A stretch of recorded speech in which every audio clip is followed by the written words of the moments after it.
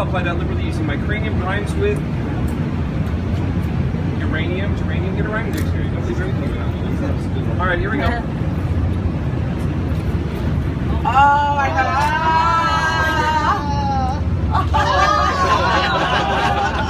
Wow. No, no. You know what? No, I get it. All right, I can see you. You can tell I'm spawning a little bit. It's my time of the month, and then once a month there's usually blood or an accident in the show. Actually, this is not all about you. And finger licking good too. You know, it doesn't taste like chicken. It's salty like the sea. Reminds me of first grade. Reminds me of yesterday. We just need some verification and validation. You just, this is sticky, sticky, green. Yeah, he'll touch almost anything. Watch out for him. But ladies and gentlemen, I got that still not satisfied look. I get that all the time. Don't ask me why. So what we're gonna do is reverse the process. Back onto the finger. Which is funnier when you do it with passion. Into the mouth and out the nose like that nasal debris. Mine miss doing this for you guys because I know you love it. And I can tell by your bloodshot eyes you're a bunch of snot pokers. Did I say that right? Poking snot?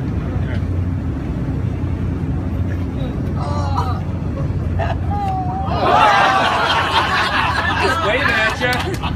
I think it likes you. It's not a little kid. It's not a little puppy. Oh. I think sea cucumber best describes this blue animal. Thank you very much.